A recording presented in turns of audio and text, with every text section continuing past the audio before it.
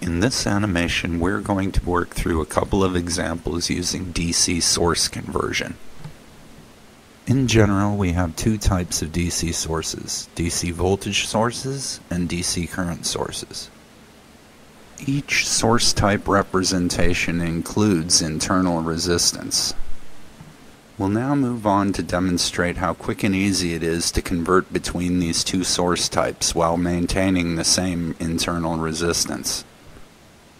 The ability to convert between source types can be extremely useful when performing nodal analysis or loop analysis, as well as when attempting to create Thevenin or Norton equivalent circuits.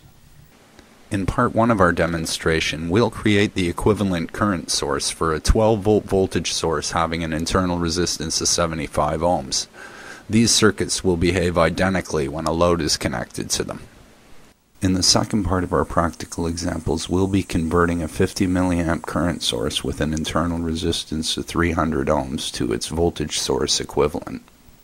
Once again, the two resulting circuits will behave identically with respect to a connected load.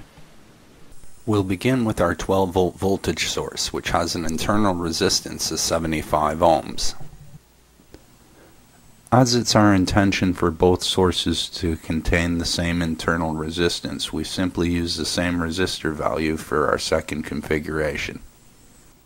We move on to calculate the current source value by applying basic Ohm's law.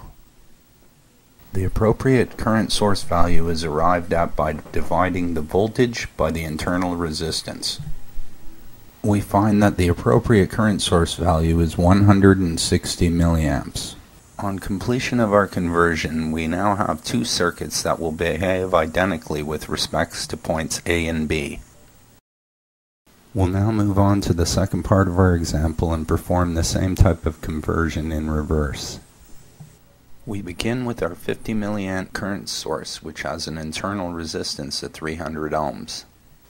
Once again, the same internal resistance is used when doing the conversion. Ohm's law is once again employed to calculate the required voltage source value.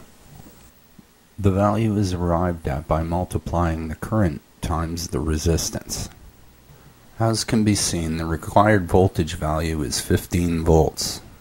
With the conversion complete, we once again have two versions of a circuit that will behave identically with respects to points A and B.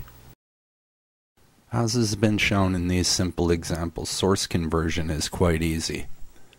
It's a great tool when you're using DC linear network theorems for circuit reduction purposes.